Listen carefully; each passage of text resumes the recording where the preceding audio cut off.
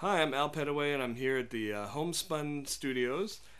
And I'd love to show you some of the stuff I've learned about playing blues and DADGAD tuning. So if you keep all that in mind and just have fun with playing the, the melody against the bass, even.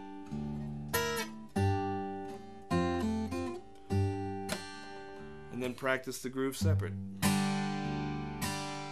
and then bit by bit put them together, but never let that groove leave your head, even if you're playing something simple.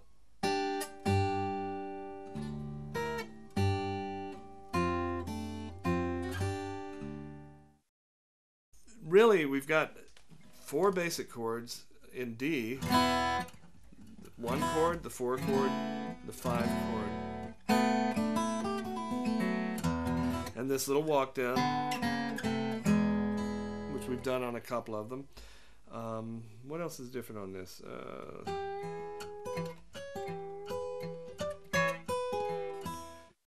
so we'll start with a little lick and then I'll go into the tune.